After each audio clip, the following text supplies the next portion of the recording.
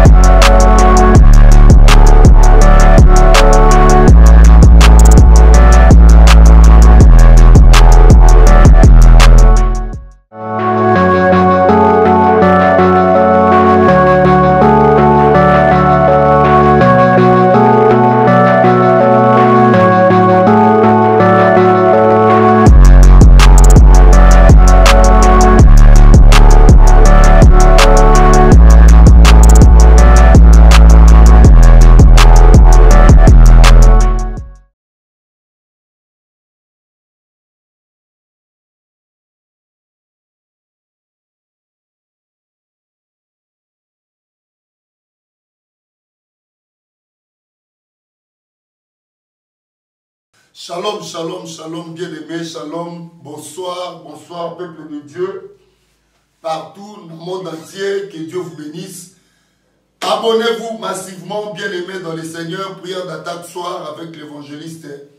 Miché Ekouchou. Bien aimé, Nzambe apambola bino makasi. Nzambe apambola bino, a fortifié bino. Bataka nyoso le monde entier. Nzambe apambola bino. Merci beaucoup. na bana na nzambe partout oyo bazalaka prière d'attaque eloko ya liboso na kosenga bopartage prière abonnez vous massivement so eza ba liboso oza kosabonne massivement na chaîne partage lien merci maman colette calo de londres merci beaucoup Maman Jenny Sam des États-Unis, merci beaucoup à vous. Marie Konga Bea na kati ya na kati ya Londres. Nzambe apambola bino bandeko nyonso boza bataka. Nabosani bino te. Bo partager lien bandeko na nga Belgique, maman ya trop grand merci. Merci na ndeko na biso Pichu Mayola. naza na kanda ya priere lelo bien aime biso bana na nzambe fo to réussir biso bana na nzambe fo to évolue biso bana na nzambe esenge tokende liboso na vie wazoloba men tika nzambe apambola to bando partage priere to bando partage évangéliste yo nazo partage nazo partage nazo partage priere bien aime merci beaucoup nazo partage prière bandeko mosusu mpe bozo partage partage na 10 personnes merci mama koko ya paris mama colex de paris merci bopartage prière merci euh, bilonda na londres nzambe apakolo makasi ebeteli jésus kristo maboko makasi bien-aimé tika kolo la bino na pokwa lelo bandako aklame jésus de nazareth il est notre dieu il est notre sauveur il est notre dieu il est le roi des rois il est le seigneur des seigneurs le dieu tout-puissant le rédempteur notre sauveur le roi des rois jésus-christ de nazareth amen bien aimé tika nkolo yesu azala na bino na butu ya lelo tozotanga parole de dieu toza na livre luc chapitre 22 premier verset ti na 5e verset luc chapitre 22 premier verset natangi rapidement ti na 5e verset la fête de Père Saint-Lévin, appelée la pâque approchait. les principaux sacrificataires et les scribes cherchait les moyens de faire mourir Jésus, car il craignait le peuple. Verset 3. Or, Satan entra dans Jida surnommé Escario qui était du nombre des de douze. Et Jida alla s'attendre avec les principaux sacrificataires et les chefs de garde sur la manière de leur livrer. Verset 5. Il fut dans la joie il convient de lui donner de l'argent. Après, après être s'engagé, il cherchait une occasion favorable pour leur livrer Jésus à l'insu de la foule. il cherchait une occasion favorable nasambeli nano na pokwa lelo bien aimé natie na, na, na mettre phrase oyo en relief olie nabanda na, na premier verset me ngai nabandi nano na cinquième verset na mettre baverset biblique oyo en relief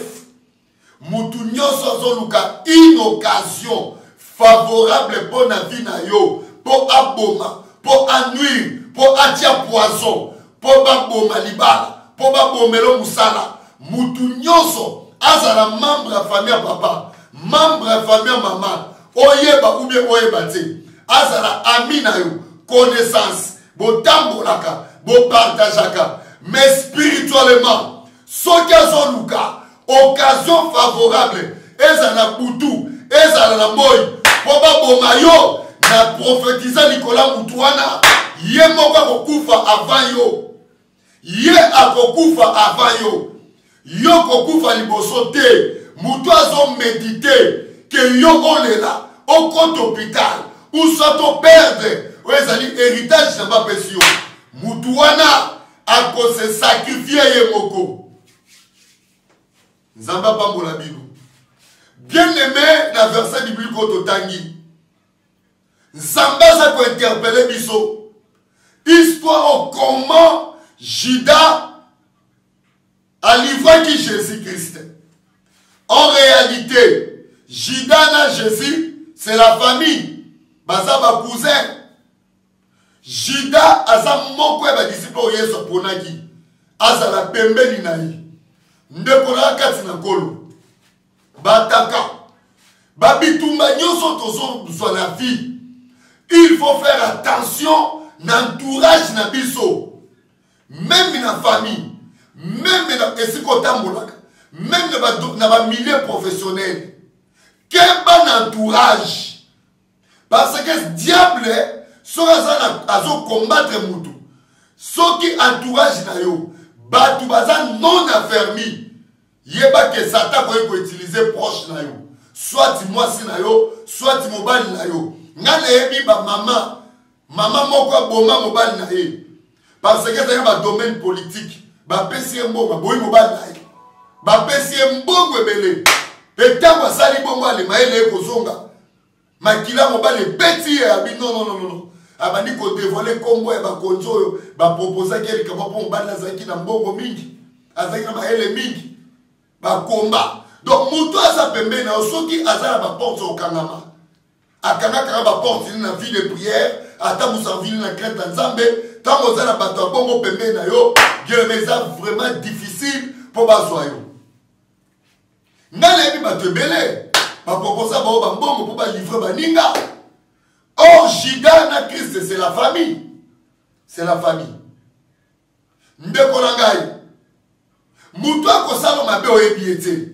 mibomba na vie de prière bomba sekrafi na yo bomba makambo ya vie na yo bomba baprojet na yo bomba nyonso oyo nzambe aza koprometre yo na vie na se na mokili oyo kobetelaka yango neporte ki te kolobelaka butu te on ne pouvait pas croire que juda oyo aza cousin ya jésus christ akoki kolivre christ bible alobi nini babandaki koluka occasion ya koboma yesu me bazwaki occasion te mpo baprincipal sacrificateur babandaki kobanga foule babandaki kobanga bato parce que bando omona kriste azalaki na évangile ya foule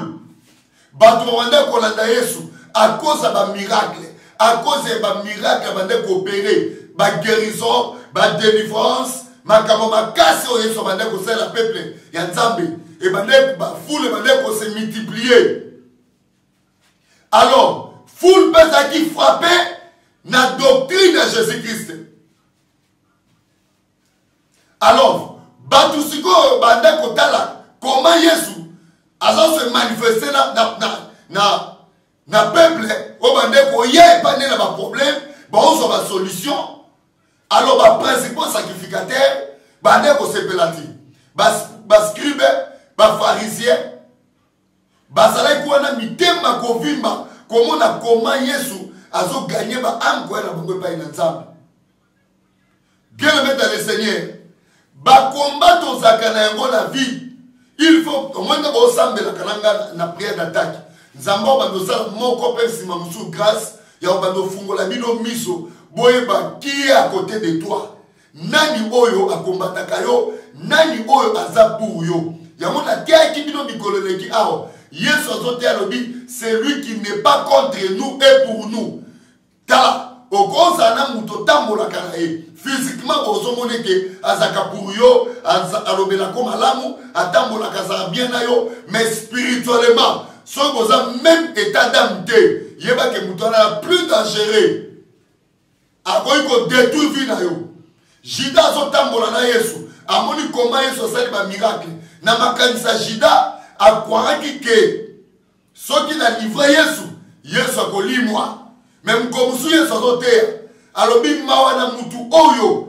akolinga na nzela fils de l'homme abima occasion pierre d'achoppement esengelaki na motu wana kutu abotama te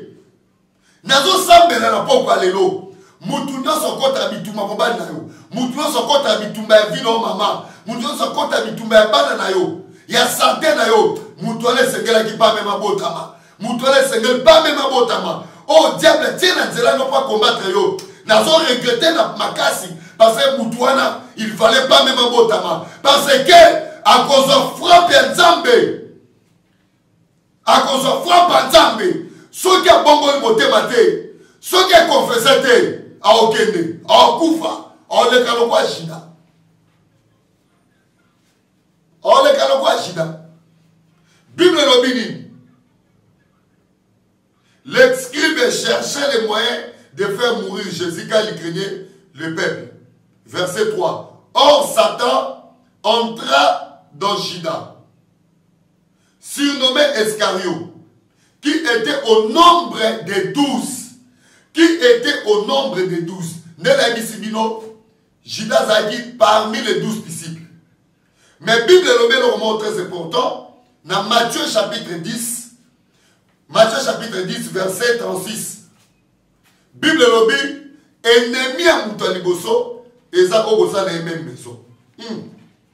makambo ebandi kofungama sikoyo awa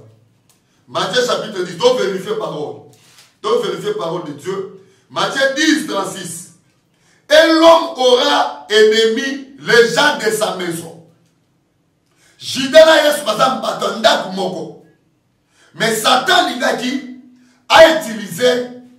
satan akotaki na nzoto ya jida mpo amonaki deja intere ya jida kati intere ya jida ezalaki nini yesu apesaki ye apesaki ye responsabilité ya kosimba finance ya evangelisation donc ndenge yesu abandaki koteya moto abandaki kosimba mbongo ezalaki jida yango mona bato bazalaka tout autour na biso oyo bakombataka vie na yo bakombataka mobali na yo satan azwaka bango na bapoint faible na bango epai ya jide ezalaki mbongo parce que point faible ezalaki mbongo mpo ye nde asimbaka mbongo makambo ya mbongo etalaki ye mais sikoyo mpo satan kota bien qu'est ce qu'il faut faire il faut utiliser point faible jida ntango satan akoti epa juda bible elobi nini satan ntango akoti juda ke juda ke koluka baprincipaux sacrificateur juda ke koluka baprincipaux sacrificateur ake kosatendre na bango baprincipaux sacrificateur lolenge nini akoki kolivrele bango kriste lolenge nini akoki kolivre kriste asakrifie ye na maboko na bango bible elobi nini ntango bayokani batondisami na esengo voilà comment la sorcellerie fonctionne bien aime ntango oza na poursuite ya bandoki eloko ya liboso basalaka ba réunion na bango en cachette na monde parallèle na monde ya butu alors bamakambo nyonso tokutana yango lokola bataki mipepa mabe kufa baaccident bakoperdre bana koperdre misala force wana monde de ténèbre oyo eyaka kodestabilize biso bana nzambe ewutaka quelque part na monde de ténèbre avant ekomela biso basalaka nao bacomplot base concertaka baluki lolenge nini bakotake bakoki kosala likambo ndenge awa basalaki epa jida bayokeli baposition sacrificateur babi bapropose jida tokopesa yo mbongo bien aimé de le seigneur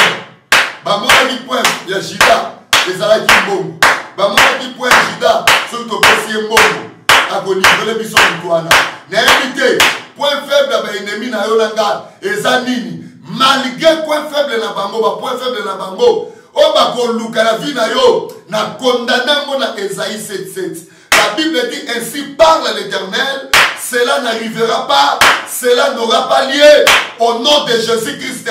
ata bazosala bacomplot bazo se prepare mpo bakitisa yo ata omoni bitumba eko visible boye kobanga te jésus christ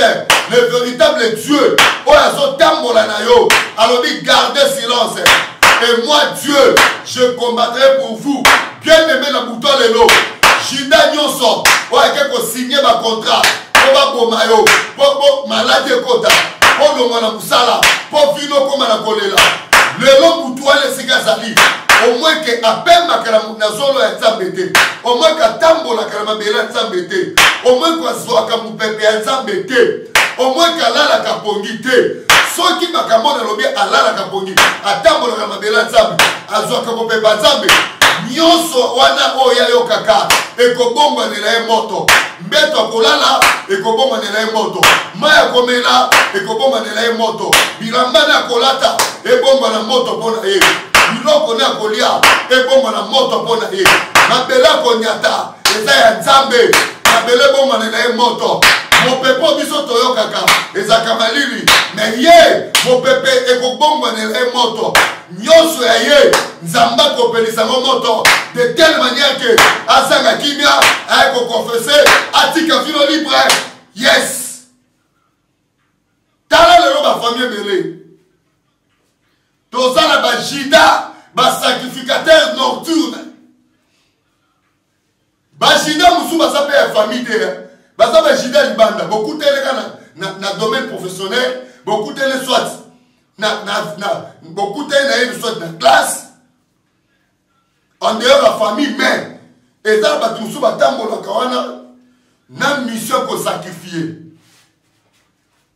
bien aime sacrificateur nyonso ya butu oyo aza na mission ya kosakrifie lipamboli na yo bien aime je suis désolé mpo nzambe akokitisa frappe na butu ya lelo sacrificateur nyonso azala na libota papa na yo na libota mama na yo oyo ayaka mpo asakrifie makambo ya vi na yo avenir na yo sante na yo mbongo na yo babi babolamu nzambe aprepare kosalela yo moto azozwa miso akoya kosakrifie yango ye moko akozala sakrifie bible alobi judas allait s'attendre avec les principaux sacrificateurs les chefs de garde sur la manière de leur livrer Il fut dans la joie, il convient de lui donner de l'argent. Après s'être engagé, il cherchait une occasion favorable. Il cherchait une occasion favorable. Bien-aimé, tant que Jida bayokani, La complot basala qui pourra livrer Christ.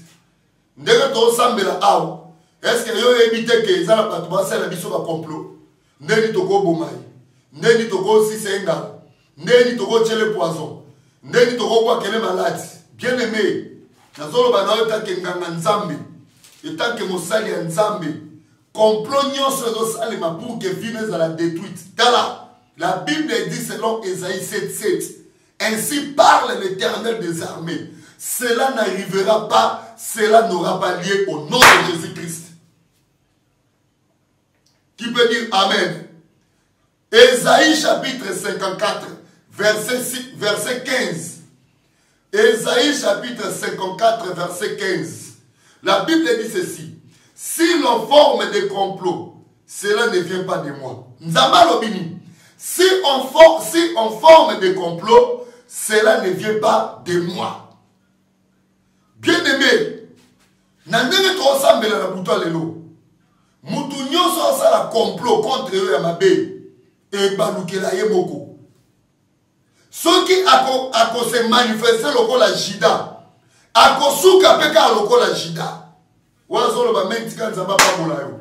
moto nyonso akolinga ase manifeste na vino lokola jida akosuka mpe lokola jida azala membre ya famille azala mama na yo azala papa na yo azala mwana na yo soit mobali na yo ou bien mwasi na yo akosuka lokola jida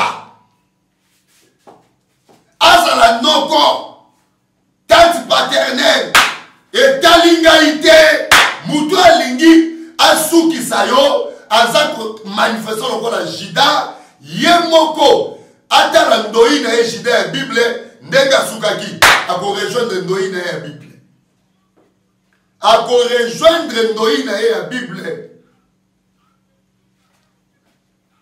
bien aimé tika nzambe apambola bino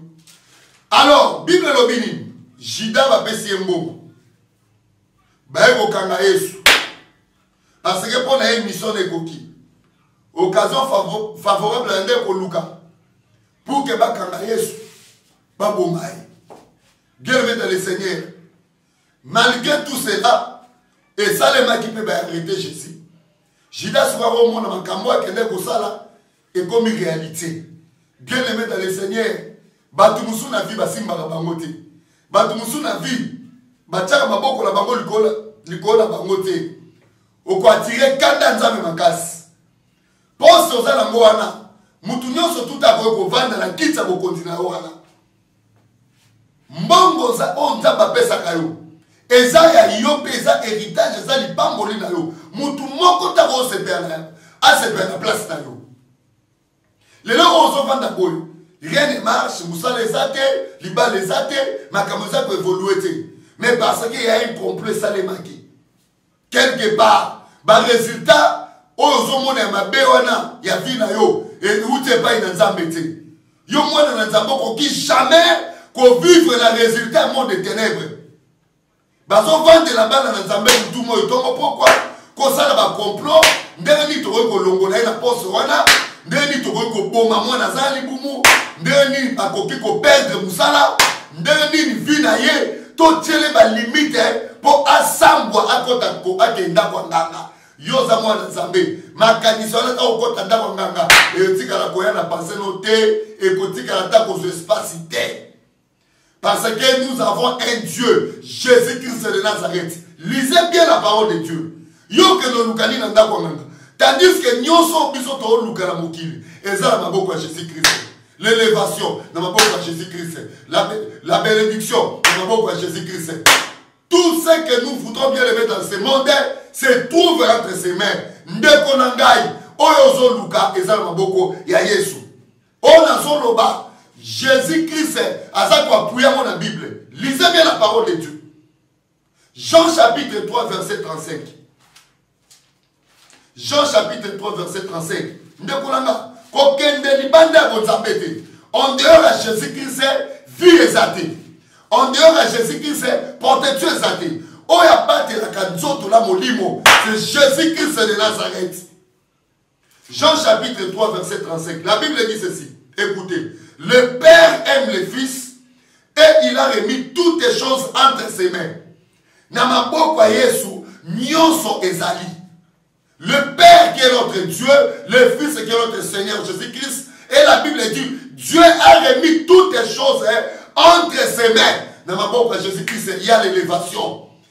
La Bible dit l'elevation vient ni de l'Orient ni de l'Occident, mais l'elevation vient de l'Éternel. Na maboko ya Jésus-Christ, tu seras élevé. Na maboko ya Jésus-Christ, tu seras élevé. Na maboko ya Jésus-Christ, tu seras guéri. Même les sidatiques sont guéris. Na maboko ya Jésus-Christ. Bien aimé dans le Seigneur, eloko nini ekotungisa yo? oyo makambo ezali kokangama bien aime complot nyonso ezosalema na butu ya lelo nzambe akopanza yango ndenge basalaki epai yesu bien aime bamalere nyonso oyo ekomelaki yesu parce que ezalaki na complot moko ebandaki quelque part bavandi babi ndebi tokozala tokozwa ye koma tokoboma ye koma tokosisa ye ngala koma bieneme baza banzambe na yo te motu nyonso azokomplote contre yo pendant cette nuit yeba ke complot na bango après avoir kosisa yango bakose retrouve de temps bango moko bakozalaka kati bamisaleli bacomplot oyo oh, nyonso bamisaleli baprogramme mais yo mwana na nzambe tu ne sera jamais à tête bien yo kaka bien aimé bakozwa yo te na nkombo ya jésus christ nzambe apambola bino bakangi yesu jida amoni te eh, makambo oyo ekomi ekomi sikoyo serie abino qu'est ce qu'il faut faire nakende ozongisa mbongo eloko nini etikali yaka ozongisa mbongo mpo amonaki bato mosusu basimbaka bango te yaya motu nyonso azwa mission ya kosisa yo vi ye moko akosisa vi na ye jida ake kozongisa mbongo me mbongo wana babi tokozwa lisusu te seko ekomi trop tard nazosambela na pokwa moko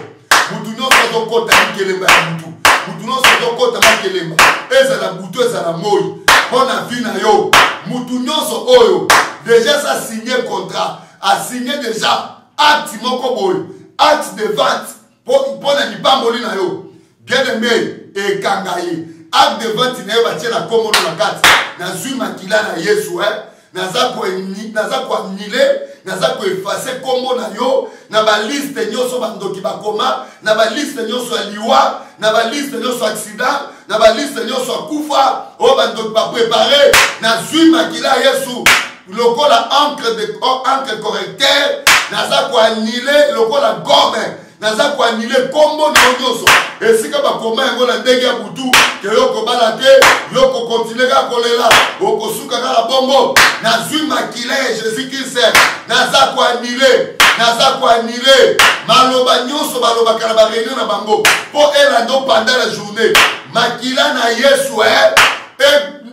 e anile e kausa maloba wana ya bandoki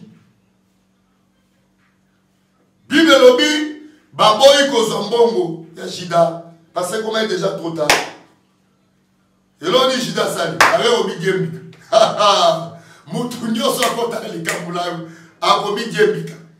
probleme eza te Ah, bolelisi nga problème eza te tala kiti nyonso bafandelaka yango te kiti no ya libala eza ya yo kiti no ya mosala eza ya yo pense na yo eza ya yo bien aimé ata komba lelo etelemi mais lobi bato oyo nyonso basali ke yo peut-être olela peut-être yo okoma na niveau oyo oza nango na bapense ozoyeba eloko osali te mais à cause de toi no bitumba etelemi ya yo kiti ekoboma na kiti ya nzube ya yo kiti na yo ekopela moto ya yo kiti na yo ya yo kiti na yo nzambe akosala yango de façon ke mutu moko te akoki ovandela yango nzambe apambola biso merci beaucoup na bana na nzambe oyo baza branche na pokwa lelo tozosambela naza na kanda loba nalobaki noke mingi te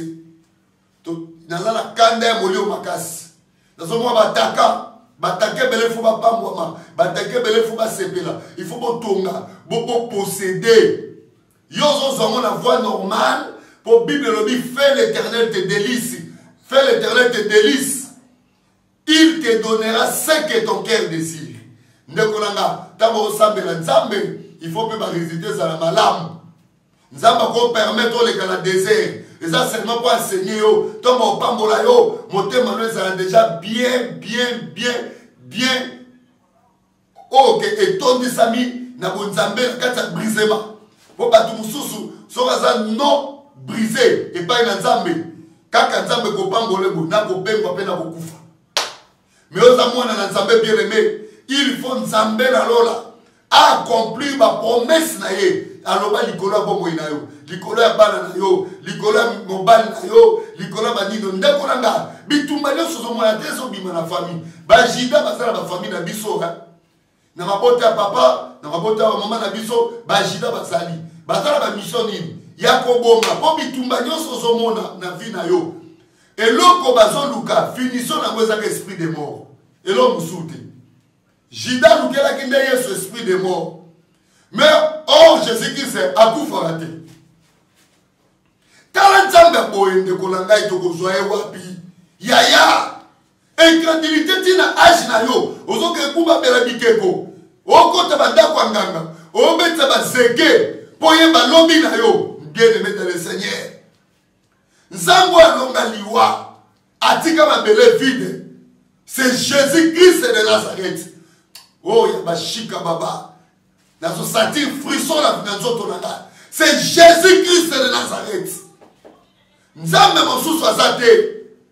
ye aza kapable ya kotombola moto azalaki na se na putulu un pauvre un indigent aza capable ya kosukola ye ya korestaure ye ya kotelemisa ye mpe ya kovandisa na place ya likolo vile oyo lelo bien aime tala na niveau komi nango na se wana quelque part ntango otala par rapport ya promesse oyo nzambe osala na yo na vie actuelle oza nango ezobalaka ti il te faut la délivrance ya koluka nzambe na nzela prière tika nzambe apambola bino yango lelo bien aime ifo tosambela tosambela toluka nzambe parce que toza na bato lokola bajide omisa vie de prière ekoma nde pire pire yo vie de prière Pire yo, liloba na Nzambe. Pire yo, parole de Dieu. Pire yo, votre évangéliste Michel Ekouchou. À part l'évangéliste Michel Ekouchou, koluka pire mosusu ya vie na yo te. Ngo kobetela makambo ya vie na yo. Nakosambela nakosambela Nzambe, nakopresenta ngo lokola motumbi mbeke pa Nzambe, Nzambe akoyoka yo. Mais soki okebetela ndoki, akokepresenta ngo Satan, sata totumba mbenga tala alivre seka mobali na ye alivre seke na ye alivre seka bana na ye totumba yango mbenga na butu omoni makambo ala mokili makambo nyonso esali nini elali nzambe apambola bino emona yawe emona yawe yo mokokisi na binaka emona yawe yo nde nzambe na nguya nkembo emona yawe emona yawe yo mokokisi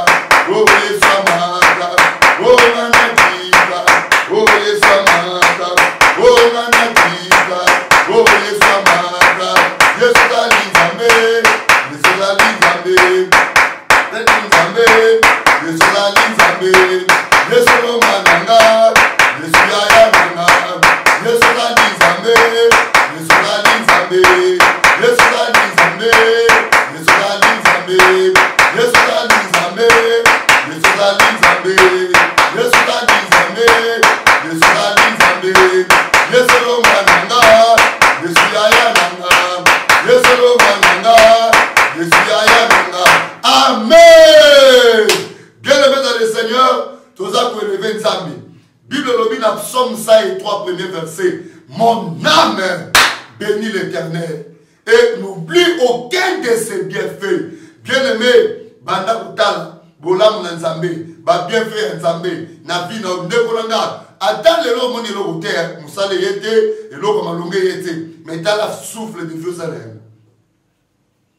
pema oza na yango bielembe yango nde makambo parce que bible alobi encore de l'espérance pour tout ce qui vit bala ko remercier nzambe tokende na kombo yesu alleluya le dieu tout-puissant le dieu redoutable le dieu le miracle nous te levons jésus nous te levons tu es notre dieu tu es le comparable oh saint-esprit le dieu tout-puissant troisième personne de la divinité nous te levons ce soir jésus tu es notre dieu yesu oza nzambe yesu oza nzambe yesu oza nzambe okumama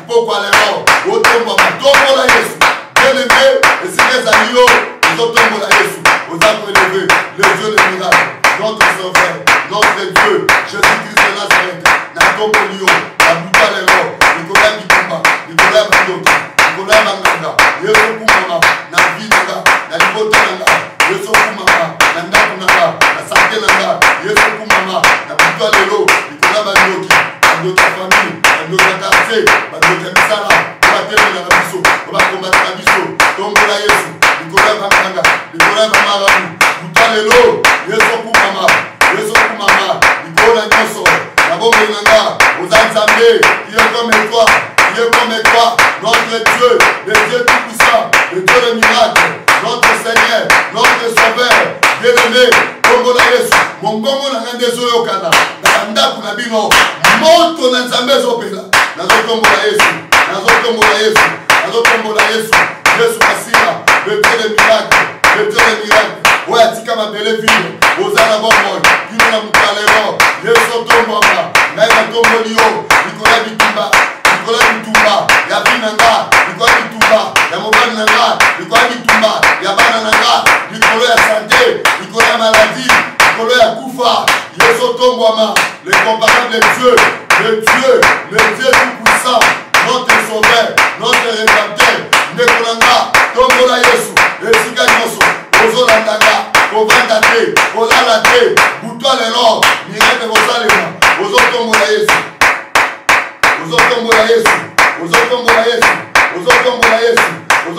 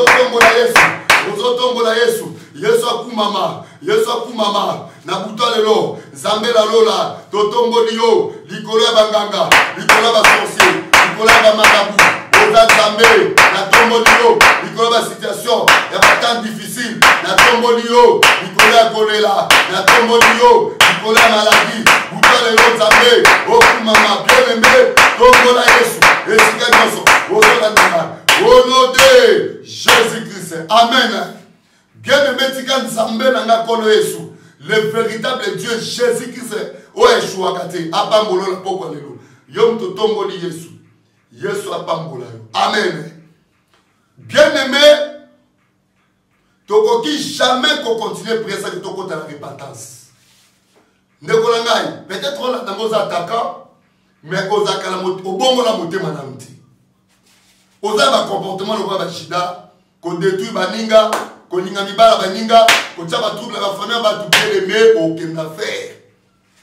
naboyi okota lifelo na bible na maboko priere ya lelo il faut fungola motema na repentance banda koconfese toza na livre 1 jean chapitre 1er 1 jean chapitre 1er verset 8 yokela oyo bible elobi eh? si nous disons que nous n'avons pas de péché nous nous séduisons nous-mêmes et la vérité n'est pas à nous verset 9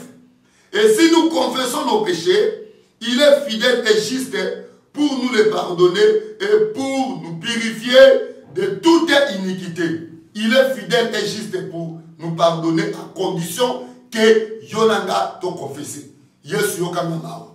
pardone ngai nalongola bazemi nasala mabe nakota bandako ya nganga nabetisa bazeke nasalaka masturbation natala bafilme pornographique yesu yoka ngai mawa naza ndoki naza moto ya mitema mabe nakabaka te naza songisongi nafingaka bato nadongolaka bato makolo na nga ekota bandako ya nganga makolo na nga ekenda bisika ya mabe ekota botel babwati de nuit nkolo yesu yokanga mawa banda kosenga mwana nzambe yesu ayoka mawa na buta lelo yesu yoka mawa yesu yoka mawa limbisa biso buta lelo nzambe eye epai na yo oza nzambe na mawa pardone biso seigneur pardone bana na yo limbisa kobota na biso limbisa bana na biso limbisa biso seigneur na butwa lelo nzambe toye epai na yo kosenga mawa na nzambe kosenga mawa na nzambe kosenga mawa na nzambe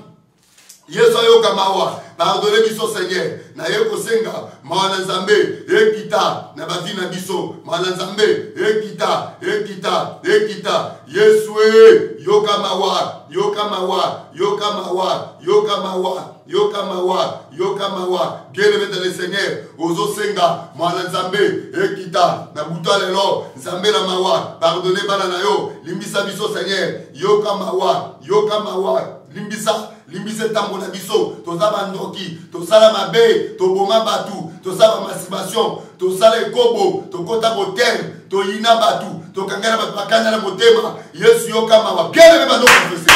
priye la confession amène la miséricorde de dieu dans nos vies attire la miséricorde de dieu dans nos vies bana kosenga mwana nzambe yesu yoka mawa eh. yesu yoka mawa yesu yoka mawa mtalelo nzambe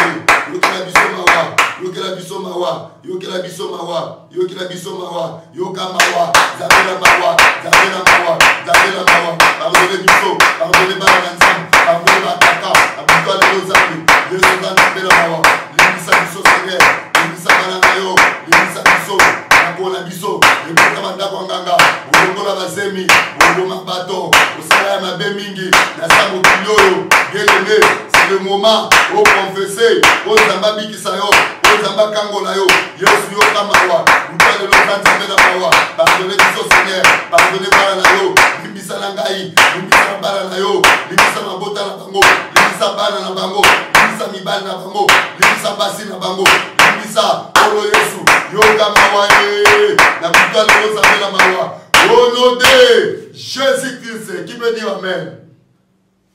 wazoloba me nzambe apambola ye yoka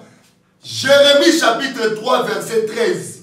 bonotaka baverse oyo jérémie chapitre 3 verset 13 la bible dit ceci reconnais seulement ton iniquité reconnais que tu as été infidèle à l'éternel ton dieu que tu as dirigé ça et là tes pas vers, vers les dieux étrangers reconnais que tu as dirigé ça et là tes pas vers les dieux étrangers nzambe alobi oreconnaitre kaka ke otambusaka makolo no ça et là makolo wana ekendaka église makolo wana eke bandako nganga makolo wana eke église eke lisusu na botel eke église eke na baboite de nuit donc tu n'as pas de position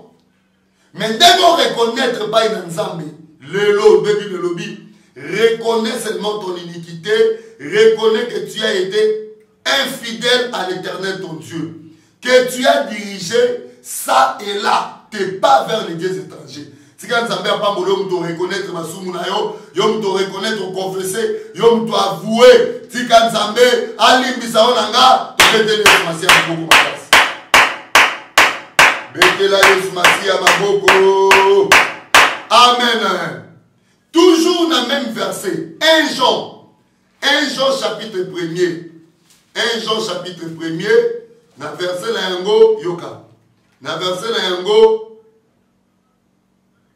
Na verset na yango 9, la Bible dit, si nous confessons nos péchés, il est juste pour nous les pardonner et pour nous purifier de toutes les iniquités. Voilà, de toutes les iniquités. C'est-à-dire, ndenge tokonfese aza fidèle nzambe aza fidèle atoboma osala bamasika ososa mabe nyonso osala olesa mobali bakisi osala mabe soko konfese wana eza bainiquité bible elobi makila yesu ekosopana mpo esanctifie biso senga makila yesu esukola vi na yo tobondela komona alleluya le sang de jésus christ le sang de jésus bien aime esambela makila na yesu sukola mpo amesprit na sanctifie ngai purifie ngai lokola mbino masumu longola impurete longola batache longola basemence ya masumu le sang de jésus solobana na vidi nga na libota na nga na bana na ngai na bandeko na nga na mobali na ngai na mwasi na nga na kor na ame esprit na nga makila na yesu sukola nga sanctifie nga purifie nga au nom de jésus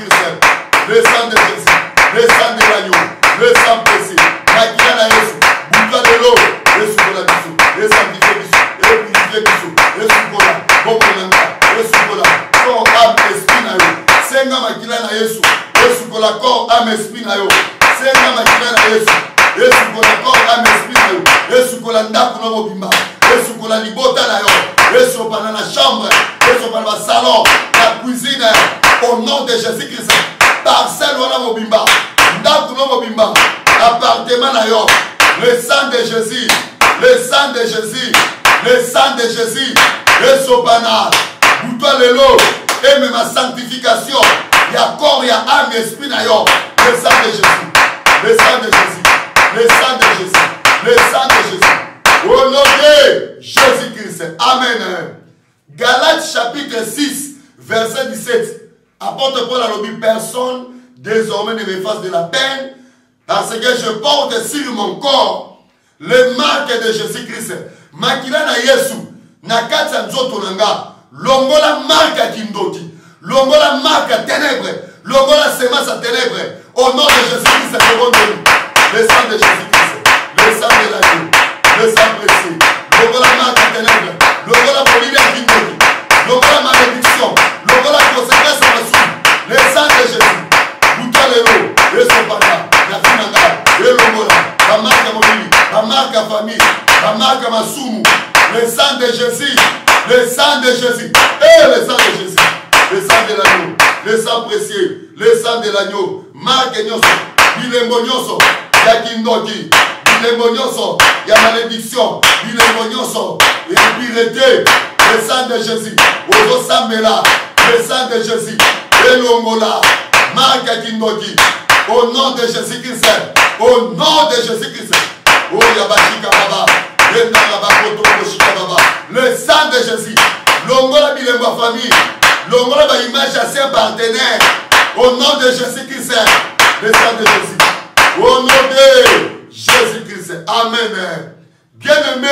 tozosenga buto ya lelo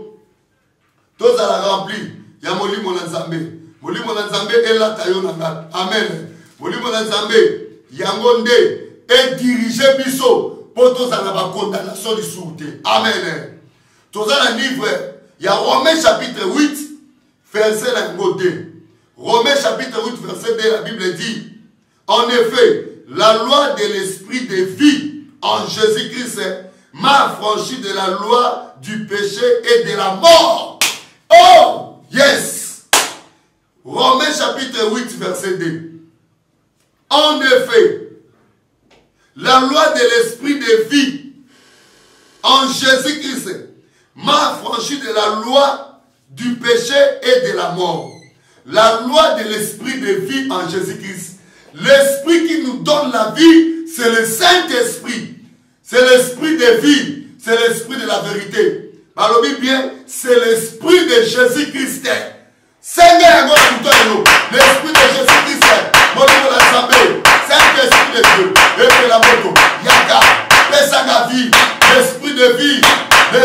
Esprit de vie, Saint-Esprit, Saint-Esprit, Saint-Esprit de Dieu. Oya oh, kashika baba. Boni kuna zambe buka lelo. Yaka la bomo yaka. Boni kuna zambe. Bela moto. Bela moto makasi. Bela moto. Boni kuna zambe.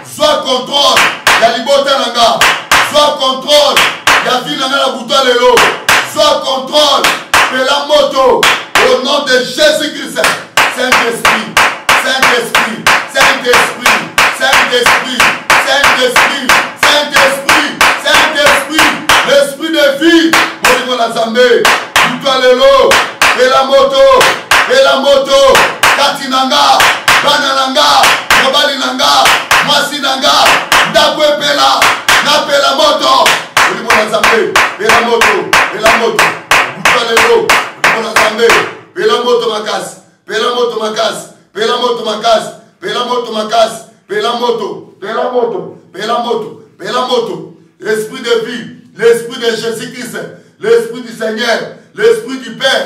olingi basambe buka lelo yaka na bomoi na nga tonda kati na nga yaka na vi na nga yaka na bomoi na nga sala ya kokamwa pelisanga moto pelisanga moto pelisanga moto au nom de jésus christ bolingo na nzambe pelisanga moto napela moto na kati buka lelo saint esprit yaka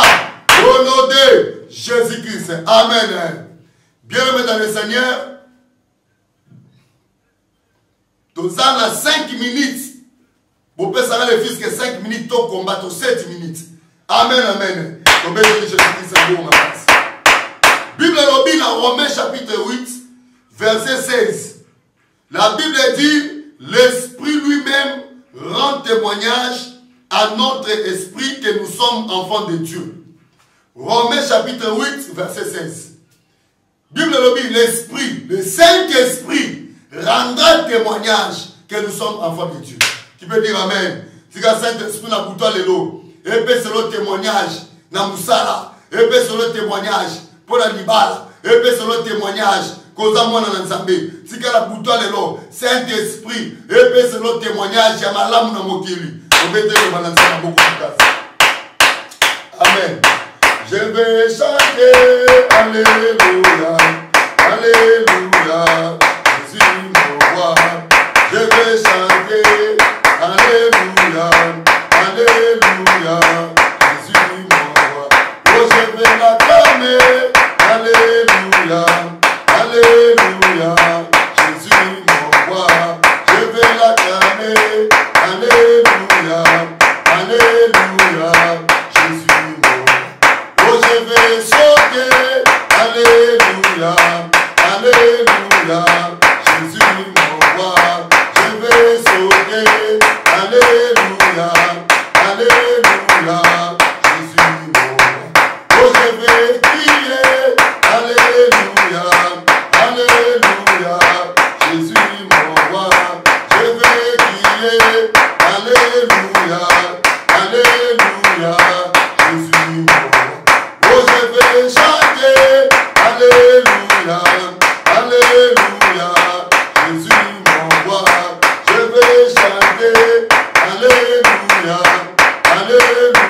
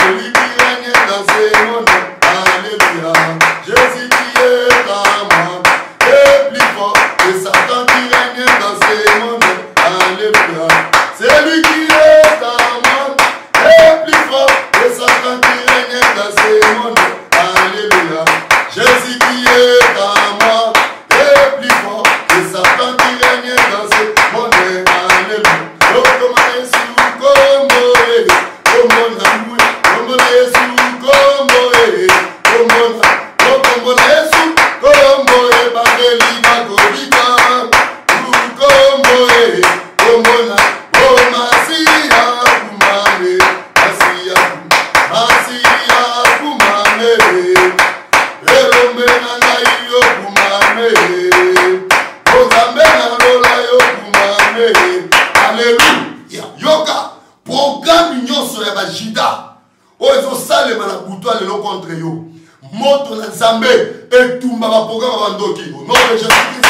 bondela bielele moto na butu ya lelo epanza programe nyonso magnifique oyo ezosalema contre vi nanga ezala butu ezala boye nayeba nayeba te moto na nzambe kita butu ya lelo etumba baprograme nyonso baprograme nyonso ya bandoki oyo ezosalema contre vi na yo contre ndako na yo contre mobali na yo moko na zambe ekita na buta lelo etumba epanza baprograme ya bandoti esikela moto oyo de jésus oyo biso de jésus christ tinda moto tinda moto moto moto na nzambe buta lelo moto eza nzambe ekita esika nyonso bafandi na batable ya magique na batable ya tenebre basali batable monde ya butu mpo na vi na yo mpo na vi na yo moto na nzambe ekite au nom de Jésus-Christ, au nom de Jésus-Christ, au nom de Jésus-Christ. Ye baba baba baba, ye baba baba. Yesu eh, kita na butelelo, kitisa moto, esika nyonso, esika nyonso, baosa ba pompe, bazolandelana, bazotanga kombo na yo, na ndenge ya mabe, mpo baboma, mpo basala mabe. Yesu Masiya, moto lekita, moto lekita, epanza bango, batable, batable ronde, ya bandoki oyo esika ekosalema yo oyebi te bato nyonso basangani na butu mpe na moi butu ya lelo moto na zambe ekita moto moto moto moto moto atake kita moto epanza baplan maléfique ya basorcier bacomplot baprojet baprogramme bapiège oyo azosala butu mpe moi konte vi na yo moto ekita moto na zambe moto na zambe moto na zambe buta lelo etumba atake atake moto moto moto na zambe au nom de jésus christ amen bien aimé yo kokufa te ozoyebisa nzambe na butu lelo baennemi na ngai nyonso oyo bazotelema ezala ya famille ezala ya quartier ya mosala nayeba nayeba te nazopresente baennemi na ngai liboso na tro na nzambe na justice ya nzambe bondela yesu masiya butu lelo baennemi nyonso oyo batelemelaka vi na yo batelemelaka ndako na yo batelemelaka bana na yo na presente bango na justice justice ya nzambe butwa lelo na presente benemi na nga na justice ya nzambe justice ya nzambe ekita na mitwa banguna na nga justice ya nzambe ekita na butwa lelo esika nyonso bato nyonso oyo bazosangana oyo bazokombatre oyo bazotelemela nga justice ya nzambe ekita na butwa lelo au nom de jésus christ au nom de jésus christ justice justice ya nzambe ekita butu lelo likolo ya baennemi na nga likolo ya baennemi likolo ya basorcier likolo ya badiversaire justice ya nzambe na butu lelo na banguna na nga au nom de jésus christ au nom de jésus christ justice ya nzambe ekita na butu lelo na kombo la yesu masiya na kombo la yesu masiya au nom de Jésus Christ. Amen. Bien aimé, oza ko attaquer la buta lelo. Mutu nyonso atindaka esprit de mort. Bien aimé, makambo nyonso ozomona na vie na yo. Nde na bandaki ko exhorter bino. Finition na ngo eza esprit de mort. mutu nyonso azotinda esprit de mort na vie na yo aza nzambe na yo te apocalypse chapitre 11 verset na yango 5 la bible dit si quelqu'un veut te faire du mal que le feu sort de ta bouche et qu'il consume tes ennemis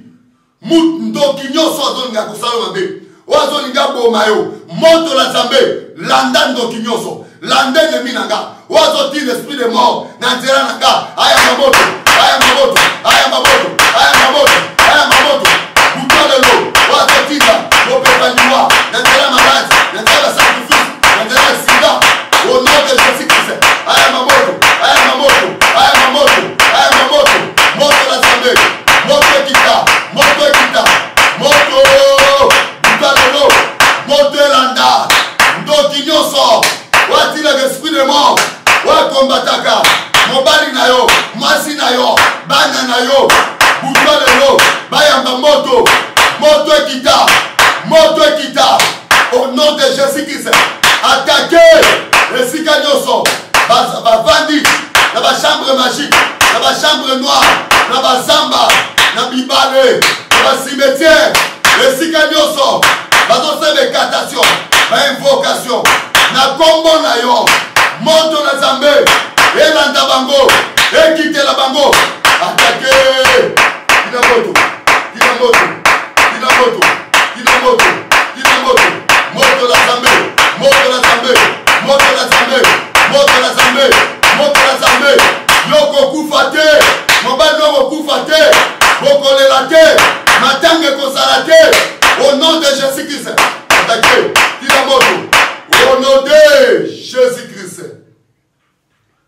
Bien aimé,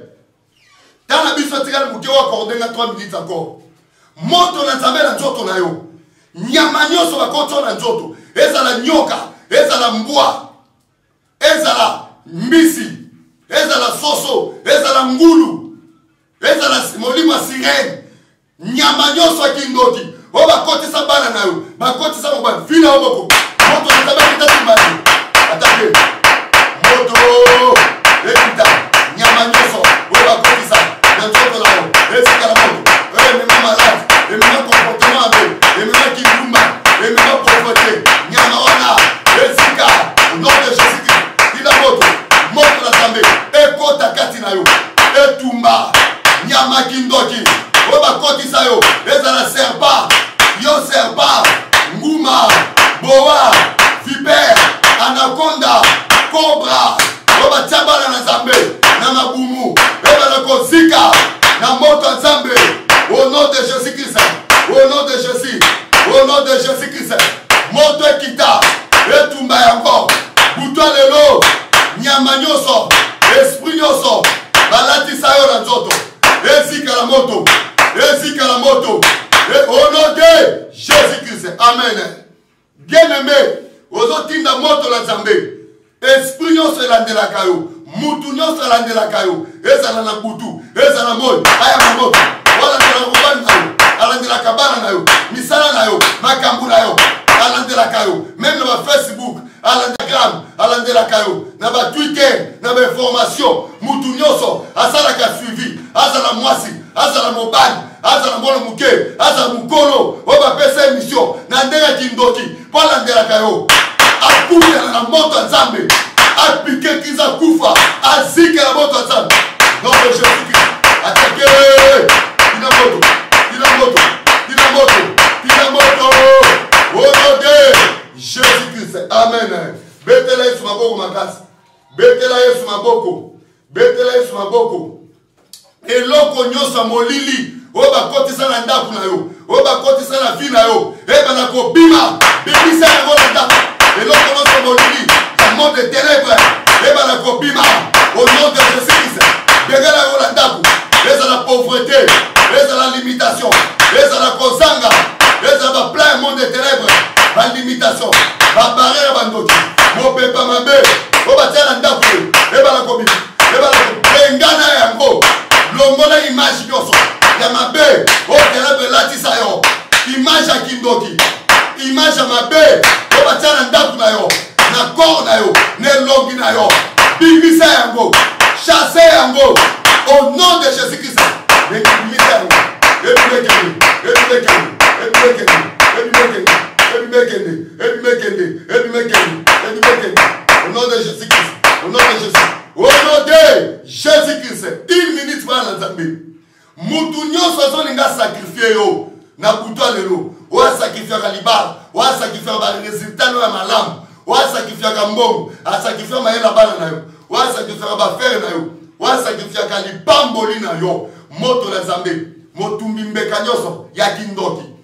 oyo nyonso bapesa ye mission po atumba vi na nga mbeka aya moto atake tinda moto moto na zambe landa sacrificateur nyonso ya libota ya papa na nga ya libota ya mama sacrificateur nyonso azala mwasi mpe mobali mwana moke mokolo oyo bapesa ye mission ya kolandela vi na nga au nom de jésus christ oyo ya bashika bababa esika dictateur wana azali eza bamerde eza bakidnaper oyo basakrifiaka bavi ya bana na nzambe moto na nzambe ekita buta lelo nom de jésus christ banda koanile yango au nom de jésus christ amen Bien aime, bebisa occasion favorable nyonso oyo bakoluka na butu ya lelo contre yo. Occasion favorable ya bandoki, occasion favorable nyonso oyo telemi ekoluka mpo eya na vi na yo esalema te ekokisama te esalema te ekokisama te esalema te ekokisama te kanga yango detu yango au nom de jésus nazo détruire occasion favorable ya kindoki oyo bakoluka contre vie na nga na buto lelo ekosalema te ekokisama te nakokufa te nakobela te au nom de jésus christ bondela bondela bondela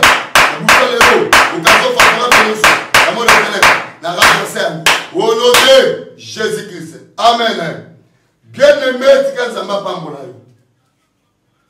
bebisa plan nyonso ya kufa tosuki awa